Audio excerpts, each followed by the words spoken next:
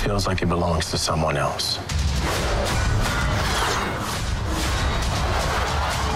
Gentlemen, I got to see the first episode, and this is an action TV show. Let me tell you. So I'll start with you, Sebastian. Do you think that you had to do more getting prepared for this one, or was it about the same as doing the films? I mean, it felt the same in the sense that they always feel big and they always feel like a big challenge and an undertaking and so on. And there's a familiarity to that. But I think here it was a little challenging just because we knew we were taking these characters into new territory and exploring their pasts finally and their a day in their life. So we needed to kind of make sure that what Anthony and I think is funny generally uh, is funny. Yeah. Y'all have a great like 80s uh, buddy comedy thing going on with this, with all of this crazy action. But there's a missing presence in this one. And so, Anthony, I want to start with you about, you know, sort of moving on both of your stories past Cap and what you were interested in exploring this time around. Sam's backstory for me is really interesting because of uh, the great Stan Lee and how he created and evolved the Falcon throughout the course of the comic book for uh, the Marvel Universe. Um, so bringing uh, Sam into the new fold after the blip in a new reality, seeing how he reacclimates to society was something that I was really excited about and interested. I, I was really interested in, uh, you know, cracking that open and seeing how, how and what that would look like. I love that. I think folks uh, are going to get to see both your characters in a different way. And I'm not going to re- litigate the whole Shield thing because I know y'all have done that. But Sebastian, do you think you could take the mantle for America's ass? Because we did an interview with Anthony where he was very certain that he had America's ass locked down. Do you think you could maybe take that mantle and he takes the shield? You do not want to go against the round brown, homeboy.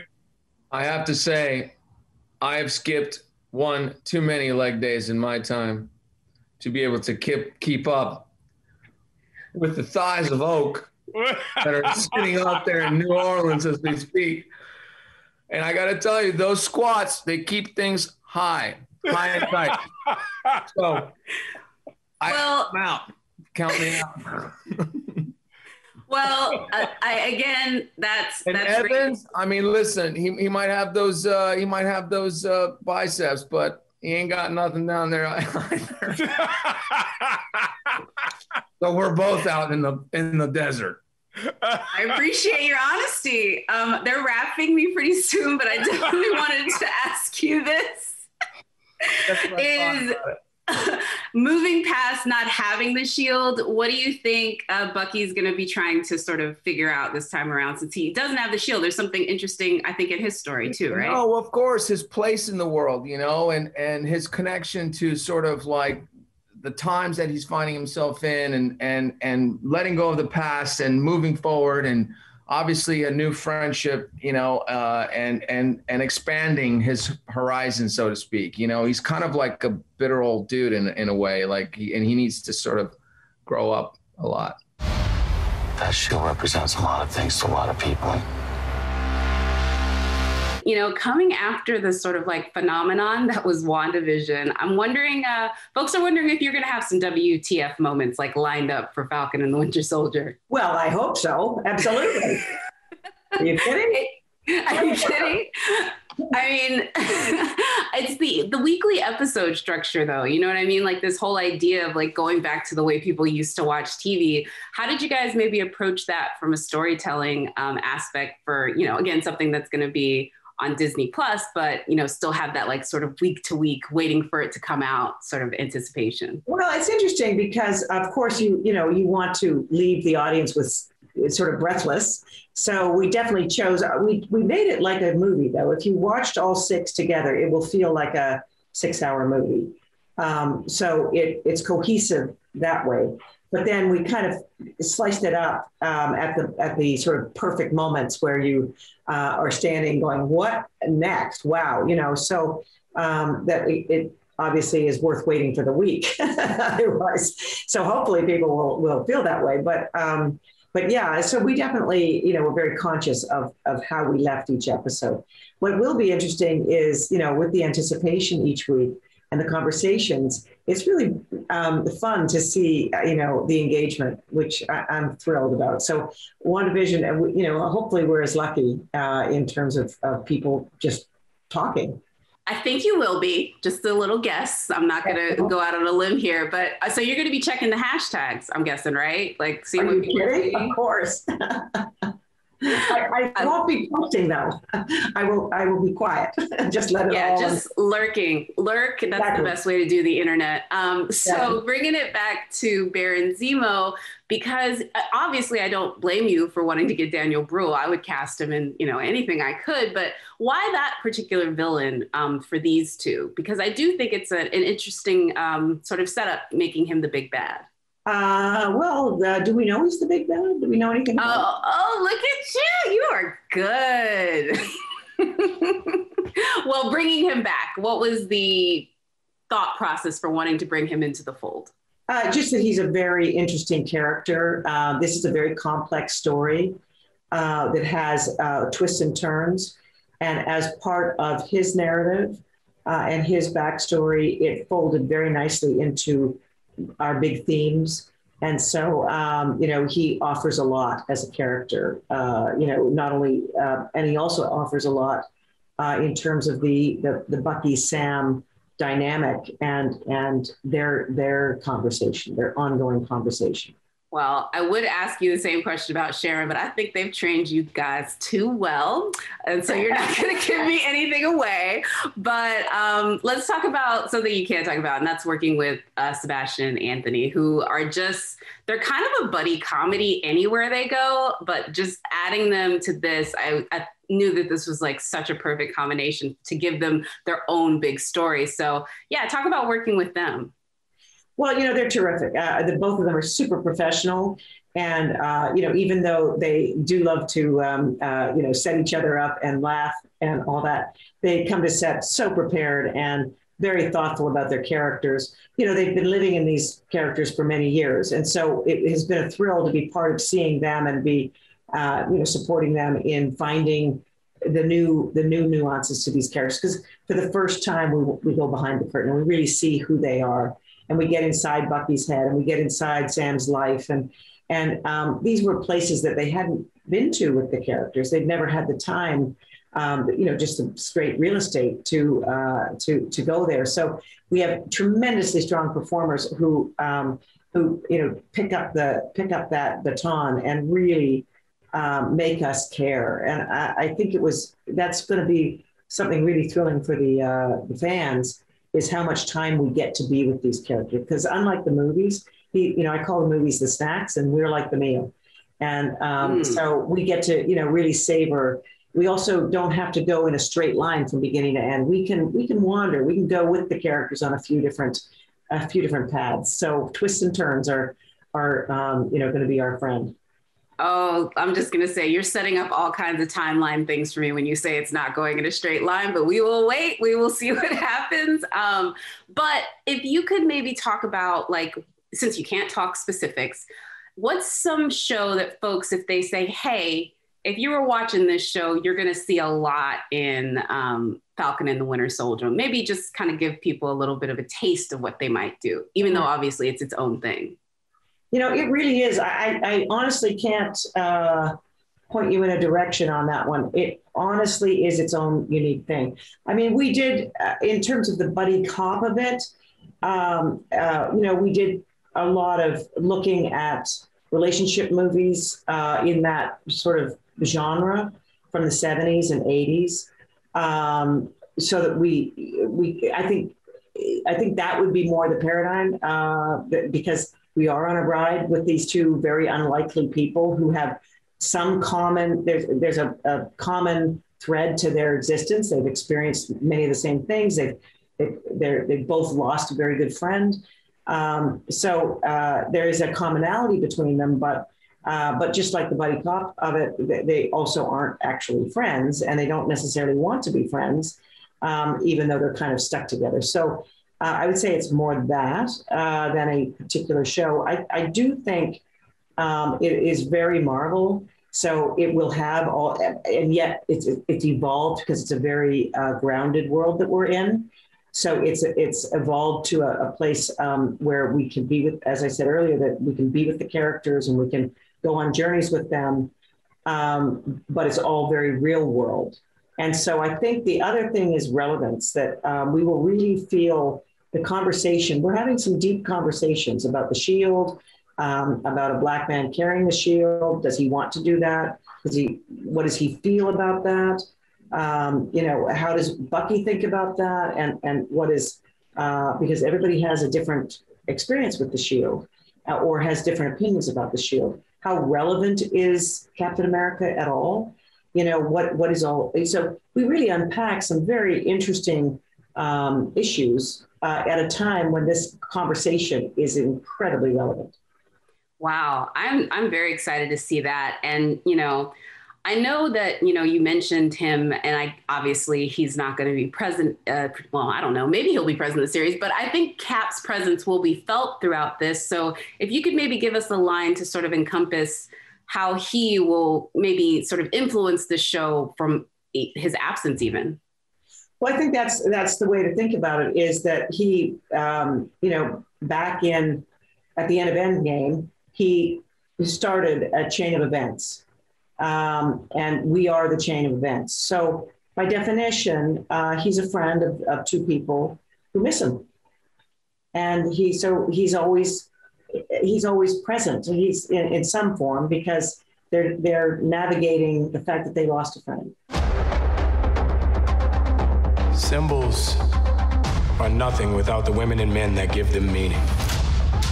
Uh, Malcolm, congratulations on the show. It's going to be the first show after WandaVision, though it wasn't intended to be that way. But I think folks got very much primed for WTF moments with that show. Um, do you guys have some of those in store for us this season?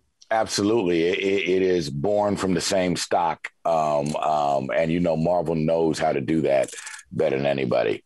Yeah, what was it like doing that sort of episodic writing again? Because uh, with most streaming services, you know, you're doing it intended for, you know, a binge, but with Disney Plus, there's going to be folks sort of tuning in week to week. Have you guys made it feel more throwbacky in that way to those old school sort of like long crime dramas? It, it's it's interesting. Like the storytelling is all interwoven and one continuum over the six episodes um, um, the debate on how to release them, as far as like one at a time or a binge, was had in earnest with Kevin and everyone uh, uh, over at Marvel. And the decision really came from a very pure place of how that, like, everyone involved with these projects are fans to the core. And so they feel like if we can satisfy our own experience, we know we're going to be uh, satisfying the fans experience and that's how they decided on the week to week but really the, it is it is one long story with these with, with with them like each the individual episodes go together seamlessly Excellent. And uh, let's just say, you know, they're bringing back Baron Zemo for the first time. Just kind of curious, uh, what's it like writing for that character, you know, more than like a cameo, obviously, like an entire series? It was great. Like he, just like Bucky, all of these characters showed up with so much baggage that had been left, particularly after Civil War, right? That we knew what we had to attack with them. Zemo is really dealing with the fact that his country was destroyed by his city, which killed his family. You know what I'm saying? Um, and the belief that superheroes and supremacy go hand in hand, and it's just not healthy for the planet. Um, the crazy thing was we we created sort of a playful character with Zemo, and Daniel Bruhl just took everything out the park. I mean, man, he's cold. yeah, I think most folks got introduced to him in Inglourious Basterds, but yeah, he's he's an incredible, incredible actor. Uh, joined by you know our Falcon and Winter Soldier. Anthony and Sebastian, they have just this natural chemistry. Is that something that you're like leaning into in your writing? Like how how is that sort of sprinkled throughout? Because you can tell even from the first episode, this is gonna have that sort of like 80s, maybe 90s buddy cop feel that's exactly what we was going for. And how you how can you deny it? You know, the second everyone saw them together in Civil War, I feel like this series was inevitable after that moment. You know what I'm saying? And what we try to do is position scenes and scenarios in a way that they understand them so well that they can play with them because it is electric and you know it's worth a billion dollars just to have two people that have that kind of like jazz together you know yeah, it's very it's priceless. Literally, you can't really sort of like recreate it. Um, just really quickly though, because this is such an action show, how are those written? How far in advance are those action sequences written, or do you just put parentheses big explosions? Oh no no no no. We we those action sequences are broken down in detail, but not only that, we approach them by putting character story like a thread of like at this phase of the action, the, it's affecting the characters in this way. By midway in the action, the characters are responding like this. You know what I'm saying? Like, so there's a whole mini character story happening in each set piece. Then you hand them to the geniuses at Marvel, and everything you thought it could be gets magnified by a million because they take it in their own direction and freak it to the ninth degree. I'm, I'm, sorry, I'm gonna have to steal that line. Freak it to the ninth degree. i will credit you, but I'll probably not. Um, All good, girl. let's uh let's talk about Cap though. Obviously, well, as far as you're going to answer me, we think he's going to be pretty much absent from the series, and so folks are curious how that sort of ghost-like presence is going to sort of affect these two these two it's, heroes. It's funny you're keying in on all the main stuff um, this entire series is defined by Cap's absence, where post blip, Thanos is gone, and half the world's population has suddenly appeared and spun the world into chaos, right? And that's the kind of problem that only Cap really is equipped to solve. And then on top of that, you have villains who are responding to that absence of Cap and this chaos. And then you have heroes who are not only responding to those villains, but are in their personal life uh, dealing with the fact that they're they had a mutual best friend in common. He's gone. They don't even know if they're friends now.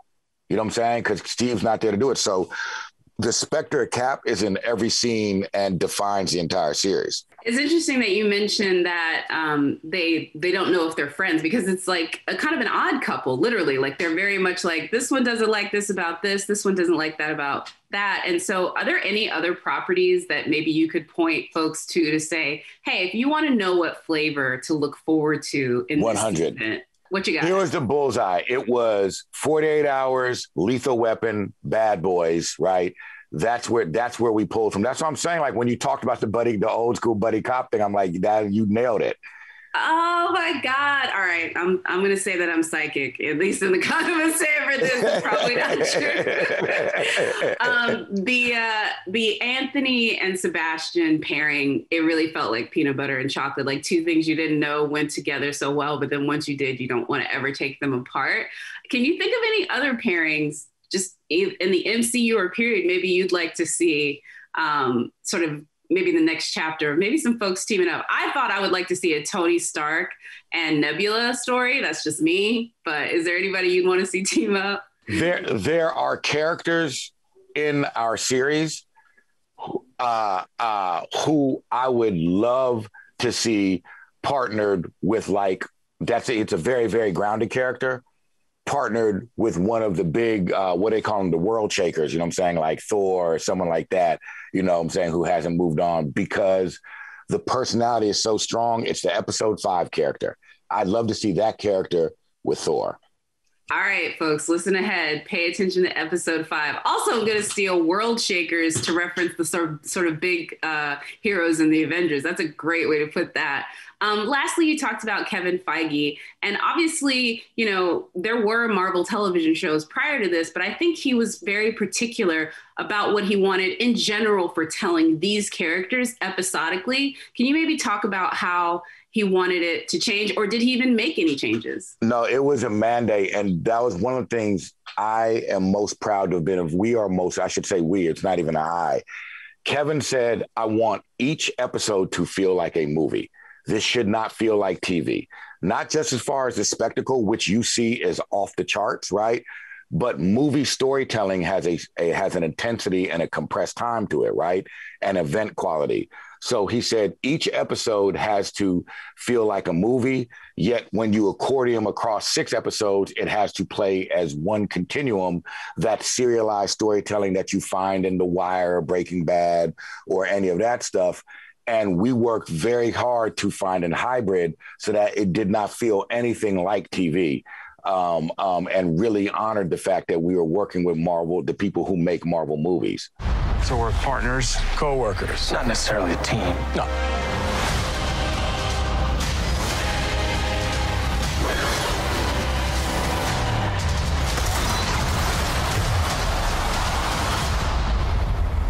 We look damn good, though.